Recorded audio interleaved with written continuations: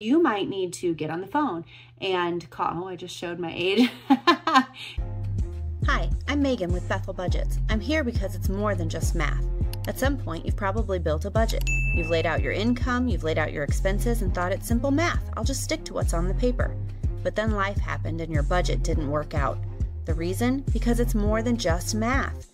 That's where I come in. Let's figure this out together. Don't give up. You've got this.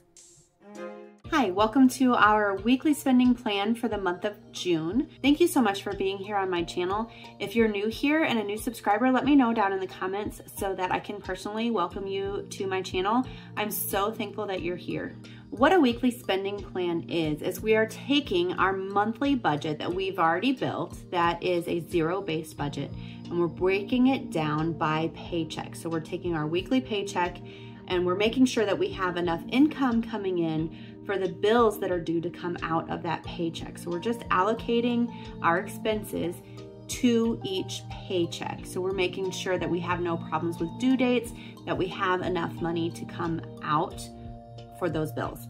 And what this allows us to do is problem solve. If you are building your budget every month and you're still having things bounce or having problems making ends meet, maybe you have a due date problem. Maybe especially with the first of the month, you may have more bills coming out on the first of the month than you have paycheck coming in. So you might need to get on the phone and call. Oh, I just showed my age. have you seen those videos where, um, you know, kids or kids go like this to talk on their phone, and then Xennials like me, they go like this. That's that's funny. So anyway, I digress. You may need to get on the phone and have companies move your due date. You can ask for them to move your due dates for your bill payments, or you may need to split your bill pays. So if your rent or mortgage is due on the first of the month, you may need to pay half of your mortgage out of your last of the month paycheck and half of your mortgage out of the first of the month paycheck just to make that work so that not all of that money is coming out of one paycheck. So there are ways around it. But if you don't build yourself a weekly spending plan after that big picture monthly budget, if you don't build yourself a weekly spending plan, you won't be able to identify those problems to be able to problem solve. So let's jump in. So I've got my weekly spending plan open on my Remarkable. This Remarkable is my favorite tool. It, it, it has everything, all of the notebooks and books that I used to cram in my backpack are all on this one device and it feels and sounds like writing on paper. I love this thing. So I've got open on here a printable version of my weekly spending plan. And we're gonna plug in our numbers from our monthly budget and we're going to sort this out according to the weeks and the paychecks that we have. So the first thing I need to do is check my due dates. And one of the due dates I know that changes is the income that I give my kids. They get paid on the second Saturday of each month. And this month that happens to be the 8th. And then I think that's the only due date that's changed. Yes. So we're going to fill in the planned amounts from our monthly budget. So our planned income from our monthly budget this month is $6,858. I'm planning to get uh, 2,058 on the first of the month, 2,400 on the fourth of the month, and on the 15th, another 2,400. So I'm going to tithe $686. Um, according to my monthly budget, which I did in the last video, you can go see. We're gonna do 1220 to our lump sum sinking funds. Water, sewer, trash gets 150. Natural gas is 65. These are budget billing. So if you're not on budget billing, make sure you pause this video right now and go get yourself on budget billing so that these numbers are the same for you every single month. It's really hard to budget when you don't know what amount you're going to be paying. When it's the same thing every single month, it is so much easier. Highly recommend budget billing. Gas, we do 300 for gas and 56 for a car wash. Gas prices are going up, but we tend to stay a little bit under 300 anyway, so I'm gonna hope that 300 works for us this month. Uh, the phone is 69. Shopping is 150. Now that's anything that's not groceries, so that's like Target and Amazon. Hair is 200. Kids' birthdays and events, that's 150. Now that's not my own kids' um, birthdays. Kids' birthdays is if they get invited to a birthday party or if they're going to a youth group event. I was not categorizing or calculating the total for each category, so I need to go back and do that. That's really important to do. So let's see, 150 plus 65 plus 149 plus 50, 414. I guess I could have just looked at my monthly budget, which I have open on the screen in front of me. This is 1700. I can do that math in my head. Okay, so pet care comes out on the 23rd. That's 120. Entertainment is a bunch of very that says various if it's too small. That is a bunch of different subscriptions that we have. They come out all different times of the month. And so that's $71. Education tuition, this is the first month we don't have to pay that, so that's very exciting. That makes this category 191 total. Gym is 26 and some change, so we put 27 there. So that category's total is 27. Okay, mortgage comes out on the first and that's 1497. We don't have any car payments. Debt digging is the phone that I broke. So it's 63. So let's see, this is 1,560 here. Is it? Let's yes, 1,560. Nothing for insurance because that we do through sinking funds. Spouse gets 50, 13, 12, 10, and I get 50 to spend as well.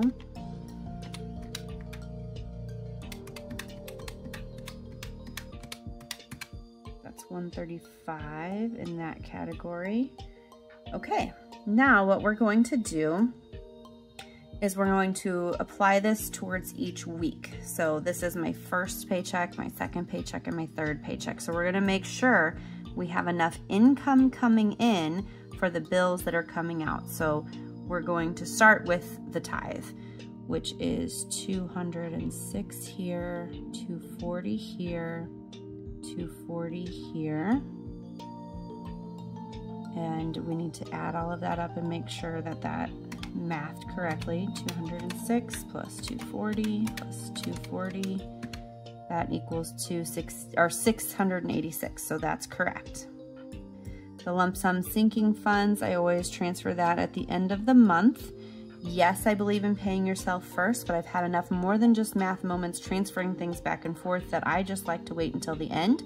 Once I do my budget closeout for the month, I usually have a little bit more that I can transfer. I'd rather do one transfer a month than um, risk making a mistake and having to transfer things back and forth and back and forth. So I'm going to go through and look at these due dates and put these numbers in according to when they um, when they'll be coming out, which paycheck they're going to come out. So this is the 7th. Water, sewer, trash comes out on the 7th. So the 1st is too early. The 4th would be good. The 15th is too late. So we're going to put it in on the 4th of the month paycheck. So that's 150. The 2nd, the, this paycheck would be too late. So it has to come here for natural gas. So that's 65. Electricity, same deal. So that has to come out of the first of the month paycheck. Now we have cable internet the 11th. So the first is too early. The fourth could, okay, it comes out on the fourth of the month paycheck because the 15th would be too late. So we'll put that $50 right there. And that takes care of that category. Let's add that up real quick. 150 plus 65 plus 149 plus 50. 414. All right, these do not have due dates, this food category here. So that makes it really easy to play with. If I have a little bit of room here and a lot of bit of room here, Um, I'm gonna come back and do that later. We're gonna focus on due date things first. Gas is another one we can play with if we need to. The 11th, that would go here for $69. None of these other things have due dates. 23rd, so we'll put that on the 15th of the month paycheck. Whoops, and it's 120. Various, so the first due date here, it's like the 2nd, the 5th, the 6th, so we're gonna go ahead and put that on the first of the month paycheck, just because I know from experience that that's where that fits best. Otherwise, I could list it out and I could break it apart, but for me, it's just easier to keep this as an envelope if I put the bulk of that here and then I can roll it over if I need to. No education tuition, even though that comes out. It used to come out on the 17th. I don't have to worry about that this month. Gym comes out on the 17th, so I'll put that on the 15th of the month paycheck. The first of the month is mortgage time, so that comes out there. 9th is when we pay off that phone. So we get the first of the month, the fourth of the month, and the 15th. So we're gonna put it here on the fourth of the month. So it's $63 and that takes care of that category. Um, the, the kids spending comes out on the 8th of the month. So first, fourth, 15th, that would be here. 13, 12, 10. Okay. So now what we need to do We've got all of our um, due dates plugged in. We need to see how close we are to reaching some of these. So the first of the month is always tricky for most people because you get your first of the month paycheck, but you also, most of the time, you have a rent due. And if you have car payments, a lot of times those are coming out of the first of the month. So we're going to take our 2058 and we're going to work our way down here. 206 minus 65 minus 149. So that's 1638. I just am making a note of it at the bottom of the page because I've made enough mistakes to know that that's good practice. Minus 71 minus 1497. So I have $70 left to spend here. Total planned remaining $70. Okay. Let's do the same thing with the next column to see how we're doing. And then we can go back and apply the rest. 240, 150,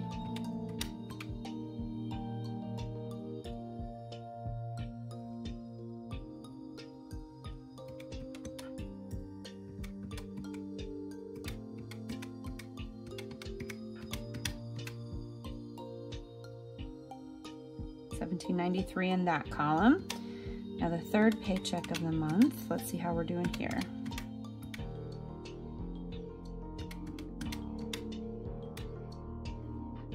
Oops. Almost forgot to make a note there.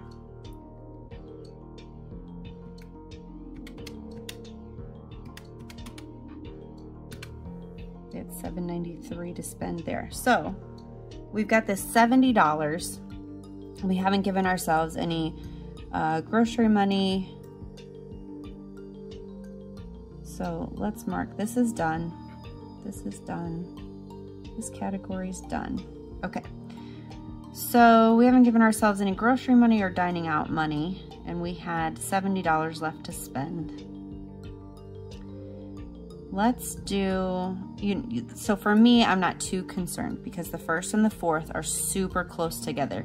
I could pick gas or I could pick groceries. I could split them equally between the two.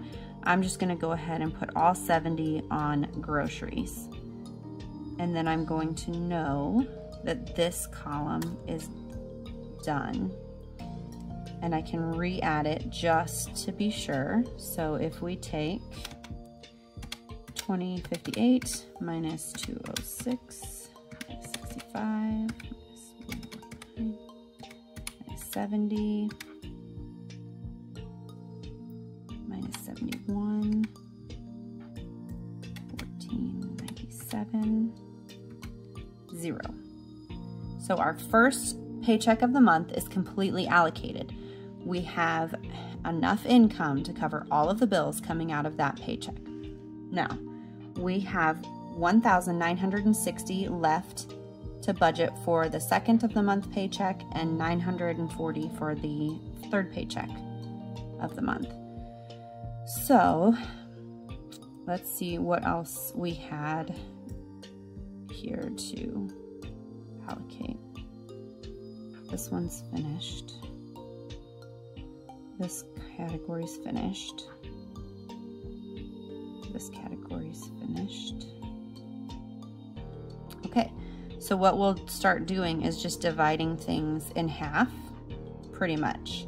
So we have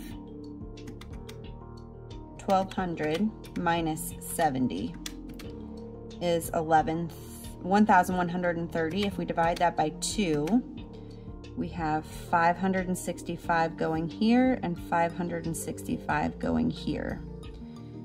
And we had how much left to allocate 1,793 left to allocate for this uh, fourth of the month paycheck.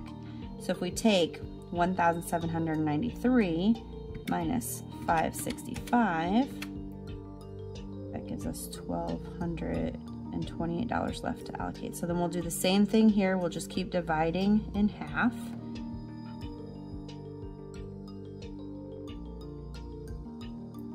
So that gives us a little money on the front end and a little money on the middle of the month to get us through the back end of the month. So minus 100, minus 100, minus 50. 978 left, but this should be fully allocated. We'll divide this in half and we'll do 150 here and 150 here.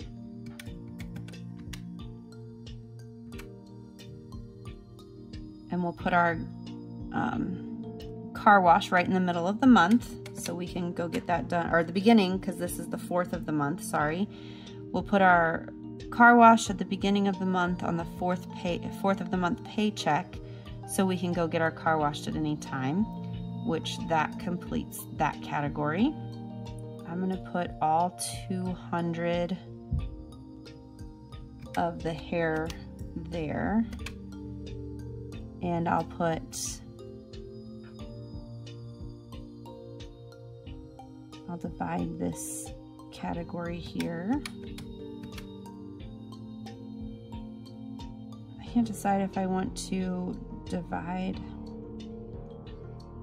the shopping category or just put it all up front.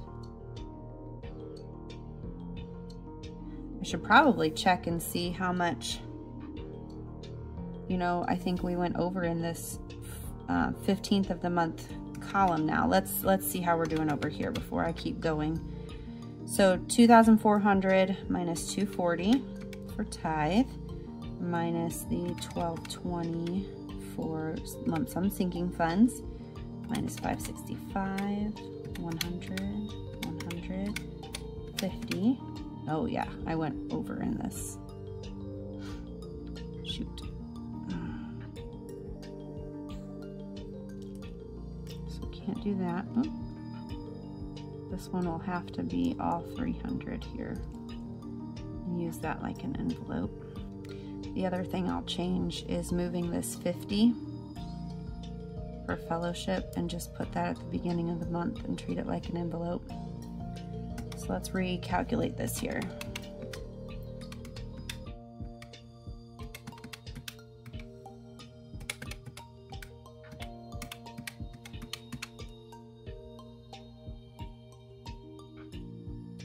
So things that had to come out here was this one. Oh, darn. I messed up my calculator. I pushed the wrong button.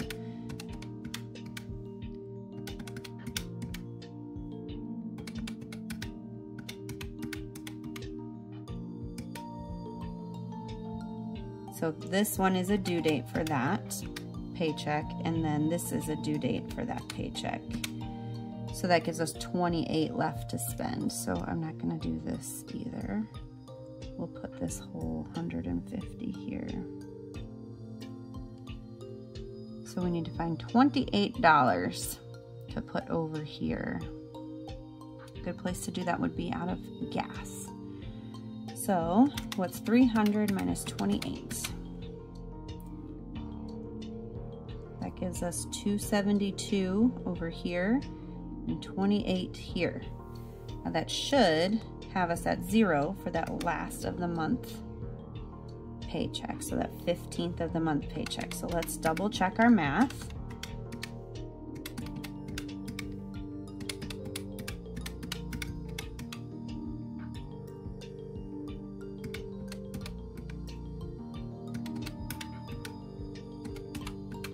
Okay, we're zeroed out there.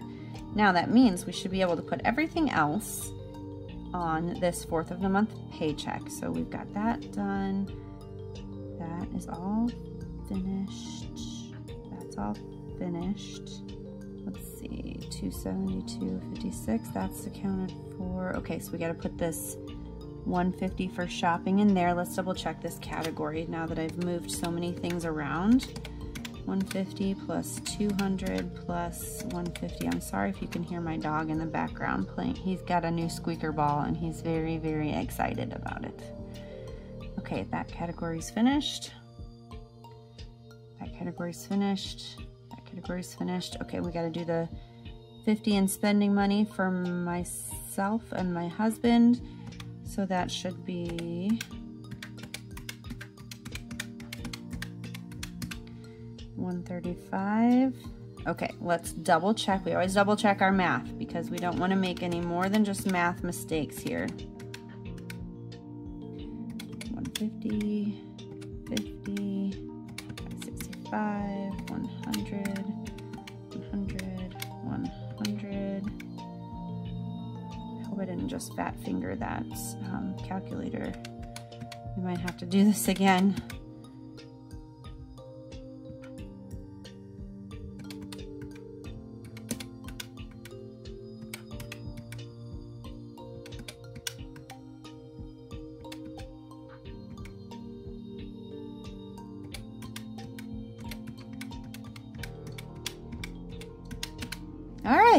We did it. All right, we have a zero-based monthly budget and we have three paychecks that are all zero-based paychecks. So this will be excellent to help us figure out if we're having due date problems, um, if this did not math absolutely could not get this to work out, we could have um, split paid some bills. So for example, if your mortgage this was just too high to pay out of the first paycheck, you can plan for next month to pay half of it out of this one and half of it out of your first paycheck of the month. So there's ways to get around it, but until you identify those problems by doing something like this, you will not be able to um, identify those problems or problem solve. So that's why this is so important.